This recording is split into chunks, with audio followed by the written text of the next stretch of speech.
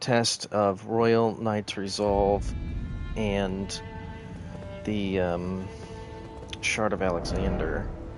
Okay, so what we're actually doing is 740, and then we do Royal Knight's Resolve, and we get 1333. So 1333 is the thing to check.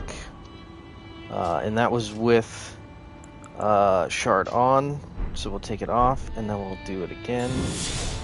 And we are at 1333, so it doesn't matter if you have shard when you're using Royal Knight's Resolve.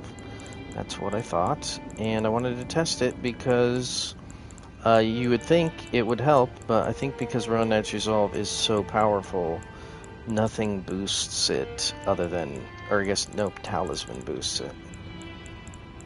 Although if you used a counter attack, it would probably work. Or a jump? I wonder if a jump actually boosts it.